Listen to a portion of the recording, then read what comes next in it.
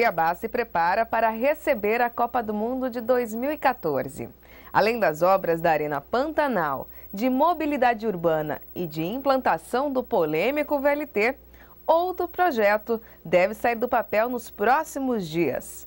A reforma e ampliação do aeroporto Marechal Rondon está prevista para iniciar ainda neste mês. De acordo com a Secopa, a ordem de serviço deve ser entregue já na próxima segunda-feira, dia 11 de dezembro. Entre as construções que fazem parte do projeto para receber os Jogos Mundiais, o VLT demorou para sair do papel, mas agora a Avenida Fernando Correia da Costa vem sendo tomada por obras como esta, localizada no contorno bem em frente ao FMT, para implantação do veículo leve sobre trilho. Além deste local, outros também avançam, como pode ser notado na Avenida da FEB. Já em fase inicial se encontra a região da Avenida do CPA. Todos esses locais fazem parte do trajeto que vai passar o modal escolhido para fazer o transporte público na Copa do Mundo de 2014. O VLT vai contar com dois eixos, no sentido CPA Aeroporto e Centro Cochipó. Para isso, ele vai ser implantado no canteiro central das avenidas Fernando Correia da Costa, Avenida da FEB, 15 de novembro, Historiador Rubens de Mendonça e Coronel Escolástico.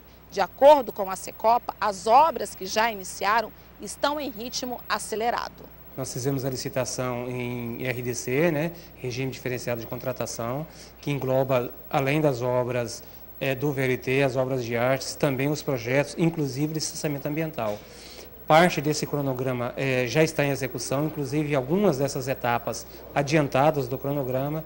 Então, este é um compromisso do governo do Estado entregar em, 30, em 31 de março de 2014. Quanto às obras no aeroporto Marechal Rondon, a Secopa publicou no Diário Oficial a habilitação do consórcio Marechal Rondon para executar a reforma e ampliação do aeroporto, orçada em 77 milhões e 200 mil reais e a capacidade de passageiros ao ano vai sair do patamar de 2 milhões e meio de pessoas para 5 milhões e 700 mil. Entre as mudanças, a construção de estacionamento, instalação de pontes de embarque e sistema de infraestrutura básica. A reforma e ampliação aqui do aeroporto Marechal Rondon está próxima para começar, com previsão de terminar em dezembro de 2013. Tanto as obras do VLT quanto do aeroporto são estratégicas para a Copa do Mundo de 2014, mas ambas serão um importante legado para Mato Grosso. Mais do que necessidade para a Copa do Mundo, já é uma necessidade para o nosso dia a dia. Então é um legado muito importante para Cuiabá e mais para o Estado inteiro, tendo em vista que ele é a porta de entrada para o nosso Estado.